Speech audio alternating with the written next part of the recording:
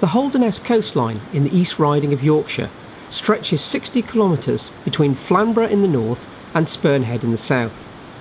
The area is infamous for having the highest coastal erosion rate in Europe, with the coastline retreating a distance of over a metre on average every year.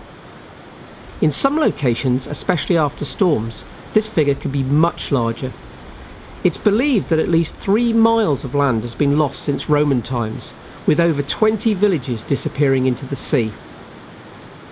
With the coastline consisting of unconsolidated glacial till left over from the last ice age around 20,000 years ago, it's an easy target for erosion by powerful waves from the northeast. As well as undercutting the cliffs, the low energy waves that then come back off the beach at 90 degrees deposit the material they are carrying, resulting in a steady process of longshore drift. The result of this can be clearly seen at the Spurn Peninsula, located to the south. Evidence is all around of the effect of erosion. Roads have been lost to the sea, and many end suddenly, with warning signs to dissuade the driver from continuing further, even if the roads are still visible on their sat navs.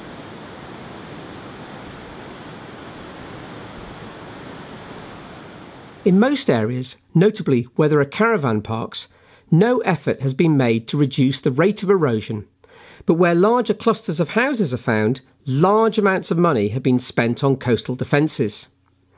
These have often resulted in rapidly increased erosion to the south of any structure put in place, technically known as terminal groin syndrome.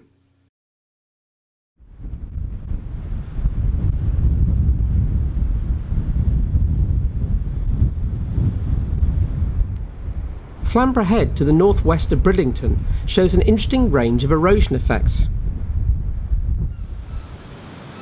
The waves cut into the chalk creating caves, which then become rock arches.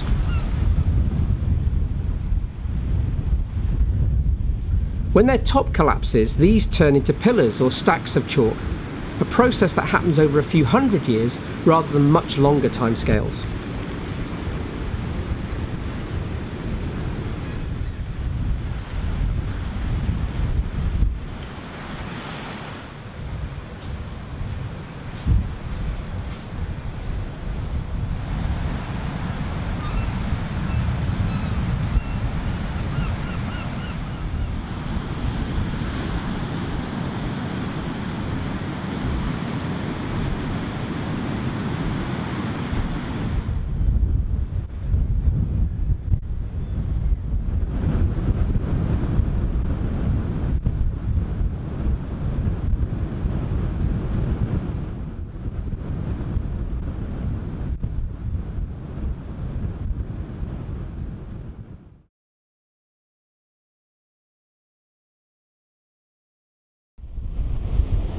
At Barmston, the Barmston main drain flows into an armoured pipeline which is uncovered on the beach. This has resulted in an excellent example of terminal groin syndrome. This pipeline has trapped sediment on its north side, and to the south of it, an area of increased erosion can clearly be seen. This happens quite quickly, with a large area of land being lost to begin with, followed by the erosion settling down to a more normal rate as the coastline takes up a new curved shape with the formation of a crenulate shaped bay.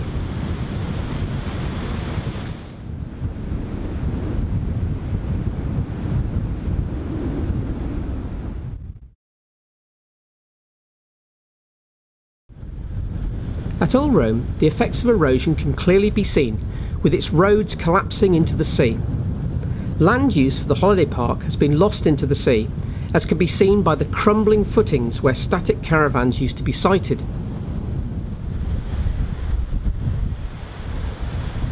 In places, whole sites have just been abandoned as the process of erosion has taken more and more land.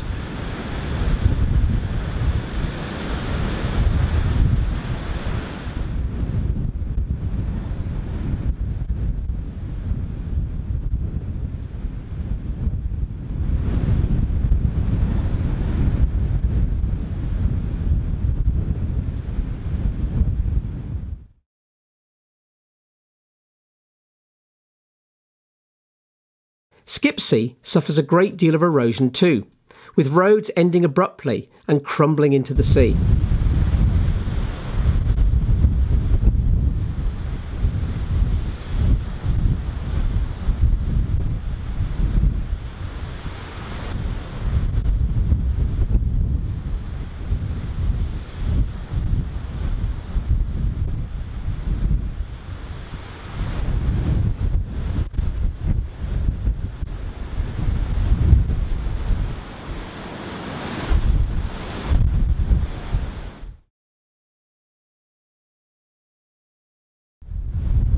Roads come to a sudden end in many other locations too, due to the effects of erosion. Atwick has a dead end road as well as pipework and cables showing where the caravans used to be sited.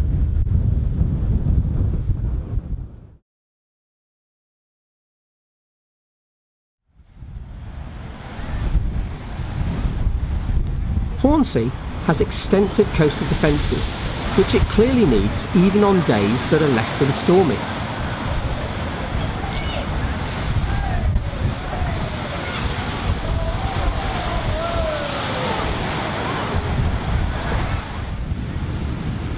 There's a concrete seawall and the beach is retained by a set of wooden groins.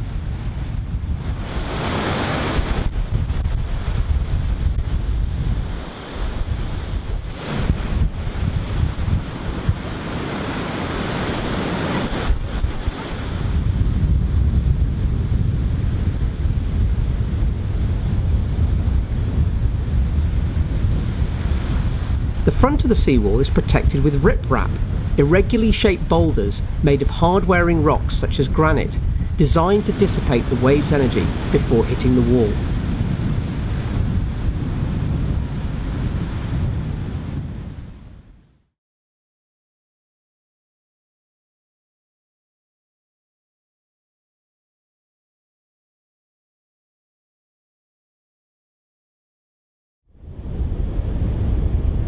Mappleton has suffered from erosion as badly as anywhere along this coastline.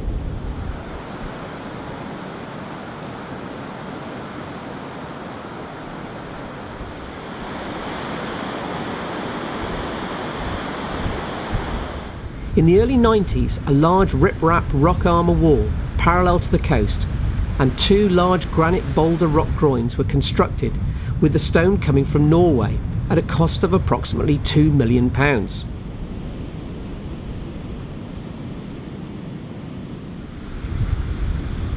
This has enabled the area to retain a large sandy beach protecting the land behind it. There is, however, another cost.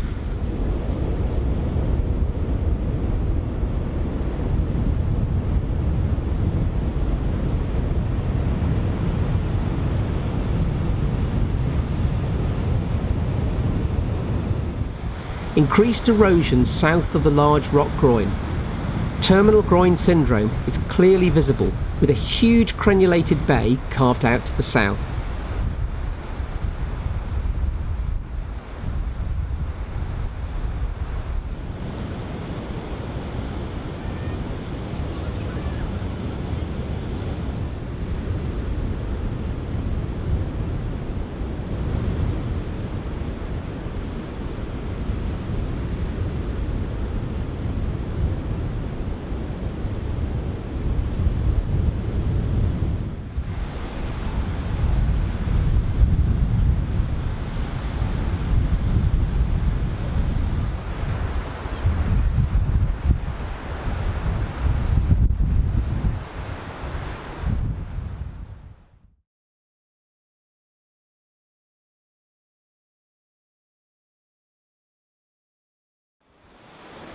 Aldborough's road to Mount Pleasant has disappeared too.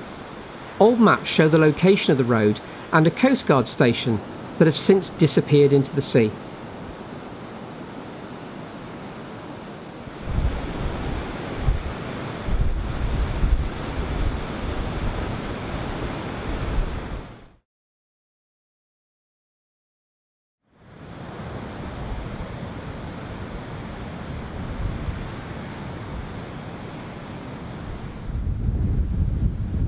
A number of roads in Tunstall have disappeared as well.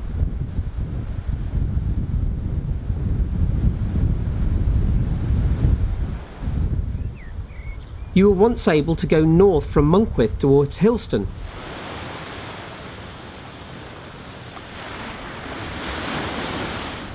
Now one has to take a large detour inland.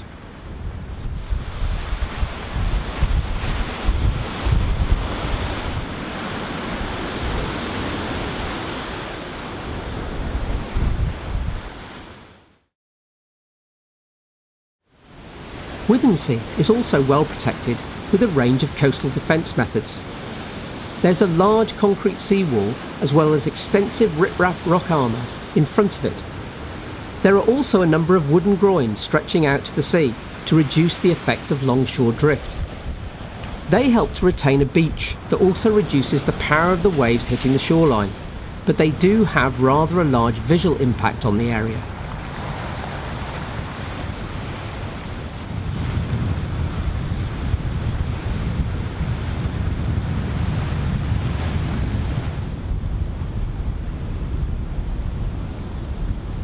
To the south of the riprap, terminal groin syndrome is at work again, eating away a huge crenulated bay at the unprotected Golden Sands holiday park, with its holiday chalets having to be moved so as not to fall victim to the sea.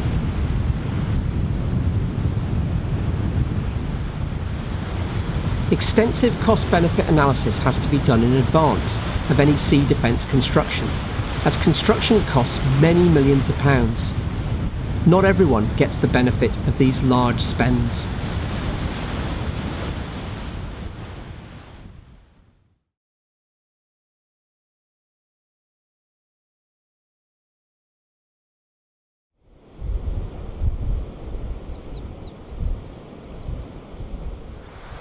Roads at Holmpton have been lost to the sea, and, as ever, it's interesting to study old maps to see what used to exist in places like this.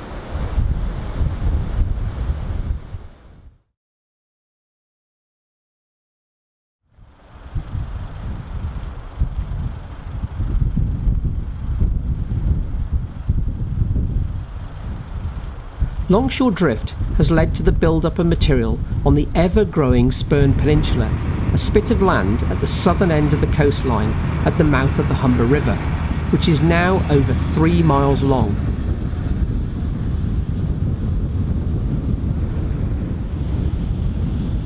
Here, waves meet the Humber estuary and lose energy, dropping the material that they're carrying in a process of deposition.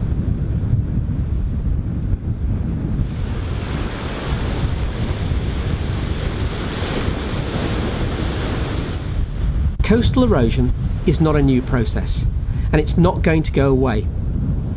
Management methods need to be carefully considered, as protecting the whole of the coastline from erosion is not practical.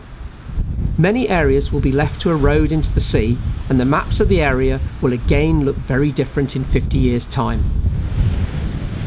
The question remains what to save at what cost? Difficult decisions for the current and next generation of geographers and planners.